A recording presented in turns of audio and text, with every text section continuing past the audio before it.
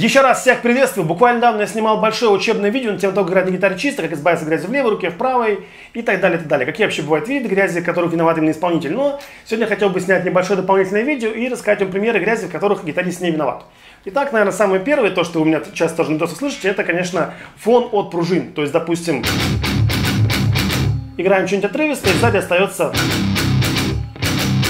в процессе именно рубки, когда мы играем что-то такое с сплошняком, это особо не лезет, но, конечно, когда есть пауза, начинается, да, вот этот бесконечный фон. Лечится очень просто, то есть находим дома какой-то поролон и, естественно, вот можно, допустим, вырвать из коробки с датчиками Фокин и воткнуть сзади прямо вот сюда в пружины. Другой вариант подобного срача это вот эти вот кусочки струн.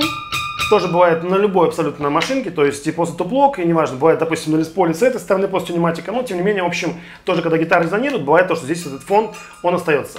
Тоже эту проблему показывал. Видос назывался, по-моему, «Зачем нужна резинка на грифе гитары». И, естественно, вот опять же, можете не полениться, на струнках заказать вот такую вот штуковинку, демпфер, и, естественно, использовать его вот таким вот образом. То есть надевайте его и, в общем, радуйтесь жизни. Другой вариант срача – это шуршащий потенциометр. То есть у меня тоже здесь вот на этой гитаре он шуршит. И я, кстати, замечал, что меня бывает новички упрекают, типа, серии, вот, ты, ты говоришь, что на гитаре чисто играть, а сам взял и нашуршал. Ну, нашуршал, господа, не я, нашуршал потенциометр. И конкретно на этой гитаре здесь у меня получается, что он до конца обычно не сворачивается, поэтому у меня вот, я убрал его сюда, но немножко как бы звука остается, поэтому тоже бывают всякие штуки слышны. Это надо исправить, конечно, просто устроиться такой день паяния, но пока просто, честно говоря, лень. Но, конечно, надо. Еще один вариант срача – это когда подфанивают болты, на которых крепится датчик. Ну, не болты, точнее, а пружины. Тоже у меня такая проблема была, я уже как бы все там положил пролом под пружины, положил сюда все эти вот резинки и долблю, и все равно остается пауза какая-то говнинка.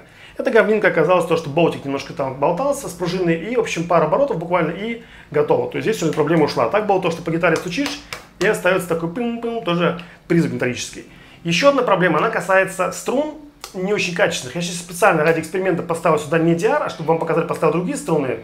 Марка известная, но, конечно, похуже, чем DR сильно. И струны волчат даже просто вот открытые. То есть, допустим, играем.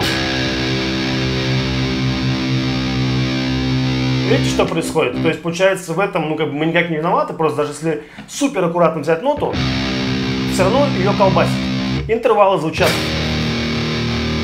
То есть, то строит, то не строит. Почему так именно, я не знаю, но на некоторых марках я такое замечал, что берешь новые струны, и даже когда там, не знаю, неделя прошла две, пока остается звон, какие-то могут быть неправильные бертона, а может они как-то, ну, не знаю, намотаны через зад. Ну, в общем, такая штука тоже остается, это проблема. Ну и, соответственно, еще бывают ситуации такие тоже более сложные, когда болтается немножко анкер там, и тоже уже все проложили, все запоролонили, заизолировали, просто пластырь везде повесили, но все равно при какой-то рубке отрывисто остается какой-то там пим-пим, тоже бывает то, что резонирует внутри анкер. Ну и, конечно, понятно, что топ-блок, когда у вас не тоже можете зонировать. Бывает в колках что-то где-то тоже не закручено. Бывает сзади тоже какие-то вещи. В общем, все эти вот металлические соединения старайтесь нормально зафиксировать. И в первую очередь пройдитесь по вот этому месту, если у вас флойд по пружинам.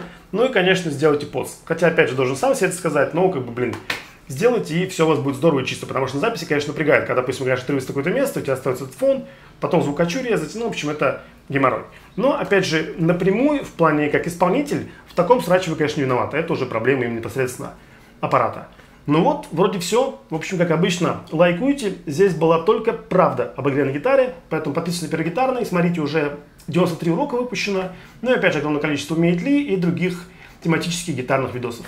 Всем, всем, э, всем большое спасибо за многолетнюю поддержку, за то, что вы так подписывались, кнопочка приехала и, в общем, до скорого. Всем пока.